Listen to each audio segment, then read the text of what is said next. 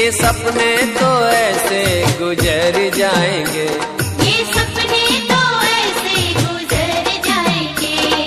अब भक्तों को लेके हम शिरडी आएँगे। अब भक्तों को लेके हम शिरडी आएँगे। काकड़ साई आरती हम मिलके गाएँगे।